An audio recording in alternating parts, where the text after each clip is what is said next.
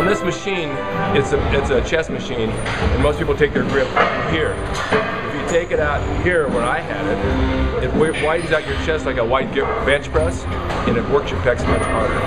And this is something you should try for Ric's tip of the week.